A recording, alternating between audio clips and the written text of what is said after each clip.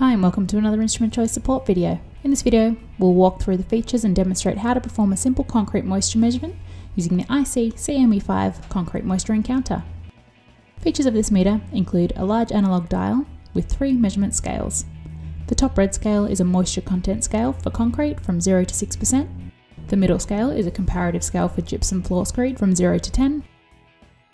And a reference scale from 0 to 100.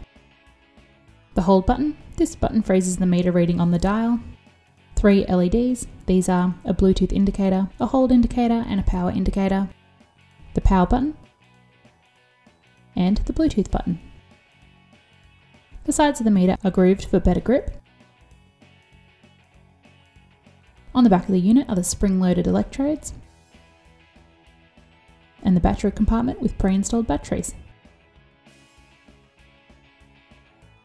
Press the power button to turn the meter on. The power status LED indicator will light up. This LED remains on until the concrete moisture encounter, the CME5, automatically powers off or is switched off. To freeze a moisture reading on the analog dial, press the hold key during a measurement. The corresponding hold LED will flash and the measurement will remain on the screen. To release the hold setting and resume taking measurements, press the hold button a second time. The hold LED will stop flashing and the dial will come active once again. To learn how to use the Bluetooth function on this unit, see the link in the video description.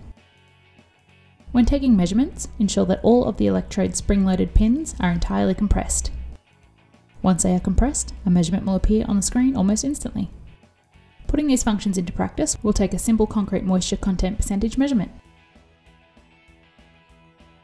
Ensure the meter is turned on and press down onto a dust-free bare concrete surface. The measurement appears on the screen instantly. To freeze the reading, press hold. The hold indicator flashes and the measurement remains on the screen for easy recording of results. Repeat the same and take a number of tests in close proximity to each other as the distribution of moisture tends to become erratic as the concrete dries out. Use the highest reading.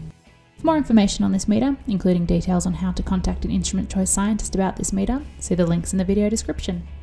We hope that you found this video helpful. Thanks for watching!